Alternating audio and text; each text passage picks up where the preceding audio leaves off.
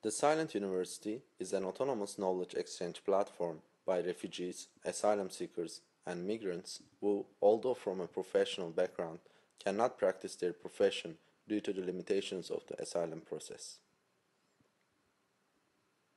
The Silent University engages in an exchange process of knowledge and experience, promoting the idea of a democratic education beyond social political hierarchies and class distinctions.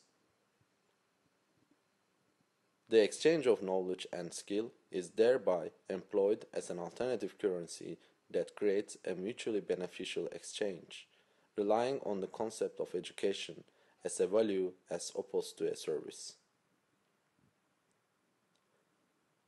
Sourced from artistic practice, but reaching into real life, the Silent University is a proposition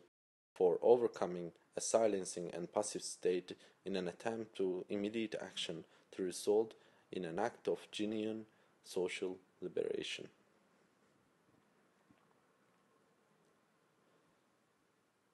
The Silent University is not a one-time or tactical intervention but aims to become a sustainable, long-term project that will spread in Europe and internationally run by its own participants.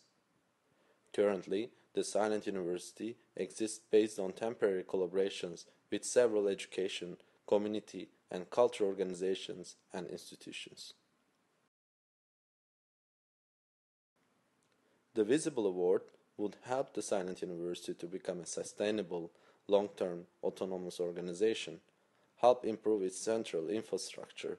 such as issuing ID cards for participants and students, getting legal advice, publishing periodical reader, organizing public events, maintaining and updating the website as a learning platform, creation of a resource room, bringing and connecting the participants with registered users.